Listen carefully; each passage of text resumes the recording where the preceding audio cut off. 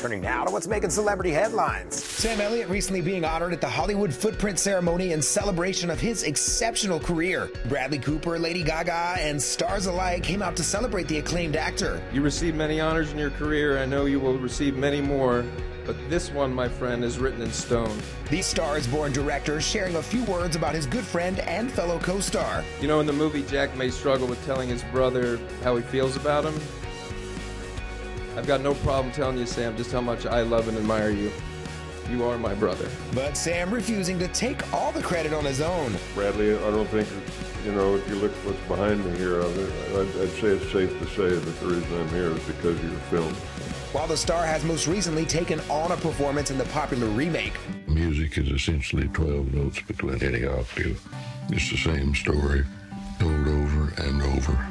Cult classics like Tombstone and The Big Lebowski have also made Sam a favorite. The actor reflecting back on all that's made him a success to the Hollywood Moments BJ Korros. I don't think I ever had a moment where I ever thought a star was born.